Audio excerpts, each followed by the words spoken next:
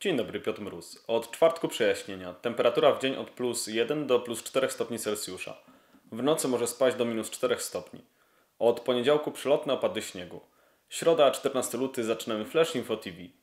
W dzisiejszym wydaniu powiemy o wspomnieniach Ireny Dąbek z zesłania na Syberię, czwartym turnieju esportowym w Noworudzkiej Szkole Technicznej, książce Marka Cybulskiego Nowa Ruda, Neurode, Tajemnice, Zagadki, Historia.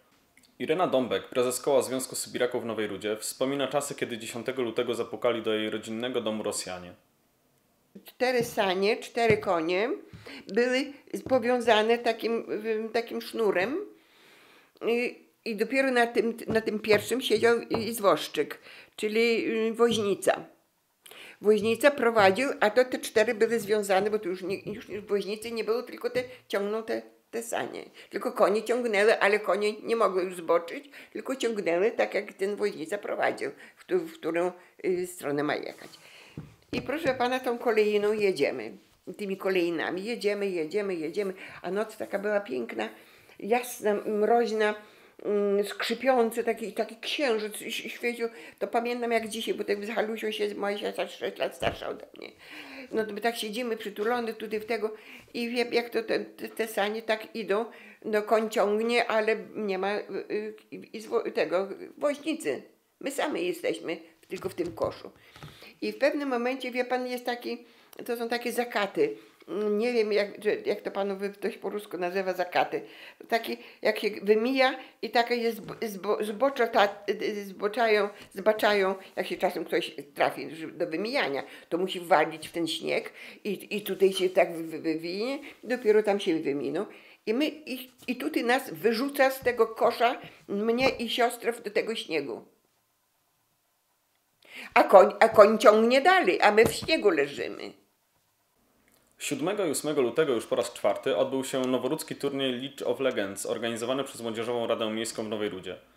Gospodarzem turnieju była po raz kolejny Noworudzka Szkoła Techniczna. Wydarzenie to organizowane jest pod hasłem szerzenia wśród noworudzkiej młodzieży idei sportu cyfrowego oraz zdrowej rywalizacji bez względu na ograniczenia fizyczne.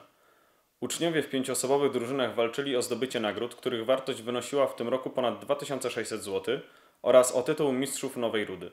Zwycięstwo odniosła drużyna łączona z Noworudzkiej Szkoły Technicznej i Liceum Ogólnokształcącego imienia Henryka Sienkiewicza. Książka Marka Cybulskiego Nowa Ruda Neurode Tajemnice, Zagadki, Historia. W książce znajdziemy zbiór opowiadań związanych z naszą okolicą, Nową Rudą i skupionych wokół niej wiosek, wioseczek i niewielkich osad. Blisko 700-letnia historia tego regionu obfituje w najróżniejsze historie, legendy i podania.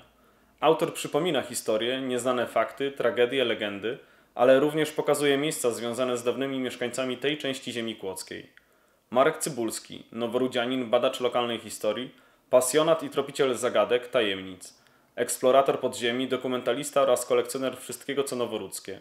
Twórca i administrator fanpage'a na portalu społecznościowym Facebook Nowa Ruda, Neurode, Tajemnice, Zagadki, Historia. Zapraszamy na spotkania z Markiem Cybulskim w poniedziałek 26 lutego o godzinie 17 w czytelni Noworudzkiej Biblioteki przy ulicy Bohaterów Getta 10 oraz we wtorek 27 lutego o godzinie 17 w sali widowiskowej Supieckiej filii Biblioteki w Dawnym Giedeku. To wszystko w dzisiejszym wydaniu Flash Info TV.